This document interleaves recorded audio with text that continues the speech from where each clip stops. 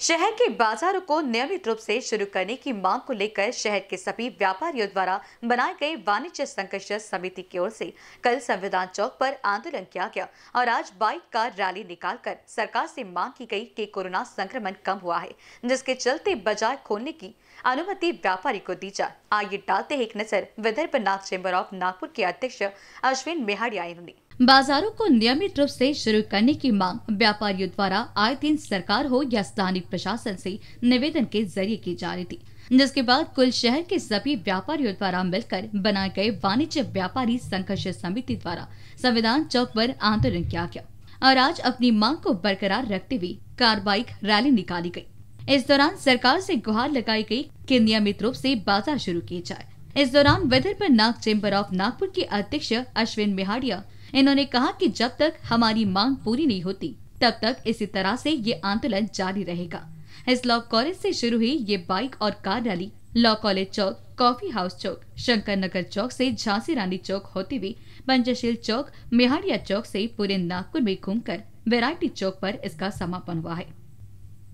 व्यापारियों द्वारा जो है कल आंदोलन किया गया, उसके बाद आज जो है बाइक रैली निकाली गई है। क्या बताओगे? आज जो है बाइक रैली का आयोजन किया गया है। क्या बताओगे? कल आंदोलन हुआ, उसके बाद आज बाइक रैली निकाली जा रही है।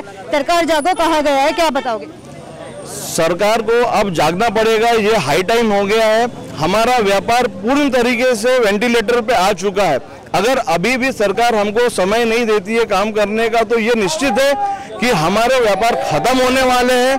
ये जो आपको दिख रहा है, ये आक्रोश एक दिन का नहीं है, ये कई महीनों से दबा हुआ है। पिछले डेढ़ साल से हम लोग ने, सरकार ने जो बोला वो माना। लेकिन अब बस जब नागपुर शहर में दो पेशेंट आ रहे उसके बाद भी पूरा की पूरा रिस्ट्रिक्शन है। कहीं पर भी कोई कमी नहीं है। जब सरकार ने हमको लेवल वन में रखा, तभी भी हमको नागपुर प्रशासन ने लेवल थ्री में रखा। एक ही हफ़्ता खोला। यह सरासर नागपुर के व्यापारियों के साथ अन्याय है, विदर्भ के व्यापारियों के साथ अन्याय है।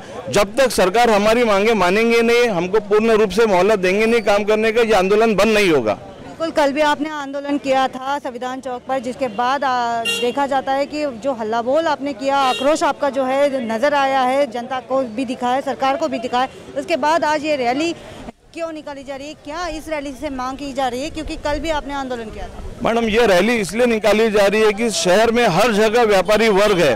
तो उन सबको पता चलना चाहिए कि सरकार के साथ क्या हो रहा है और साथ ही साथ आम जनता को पता चलना चाहिए कि व्यापारियों के साथ क्या हो रहा है। कहीं ना कहीं व्यापारियों के नाम से सरकार सहानुभूति आम जनता की ले लेती है गलत है।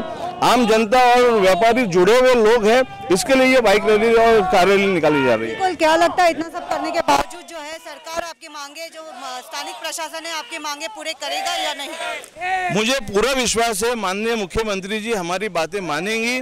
क्योंकि अब ये बगावत का शहर है और आपको मैं एक चीज़ बता देना इतिहास गवाह है इस चीज़ का कि जब जब नागपुर से Nag Vidarbha chamber of commerce ने कोई चीज़ उठाया है वो पूरे महाराष्ट्र में आंदोलन का रूप लिया है। तो मैं आपके माध्यम से बताना चाहता हूँ कि कहीं ऐसा ना हो कि ये पूरे महाराष्ट्र में आंदोलन का रूप ले ले।